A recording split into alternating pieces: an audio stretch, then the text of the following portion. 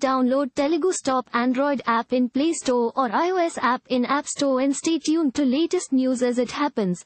Kolkata, September 5th. The Enforcement Directorate, ED, on Tuesday summoned Trinamool Congress MP Nusrat Jahan for questioning on her past association as a director with a shady financial entity which duped senior citizens of several crores of rupees by promising them residential flats at reasonable rates. The probe agency officials have also summoned another director of the said corporate entity, Seven Sense Infrastructure Private, Limited Rakesh Singh, in this connection. Both have been asked to be present at the Central Agency Central Government Office, CGO, complex office at Salt Lake in the northern outskirts of Kolkata on September 12. The ED sleuths have already filed an Enforcement Case Information Report, ECIR, in the matter.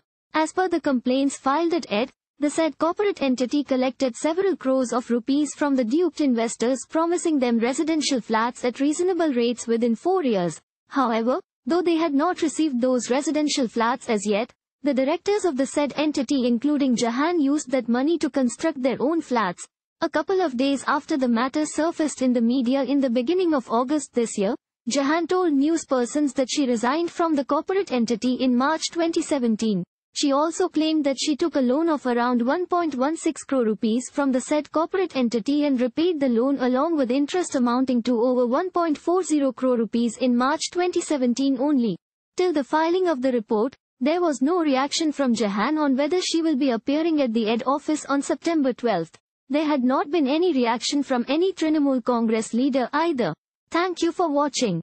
Please subscribe to channel and click on bell for more daily videos.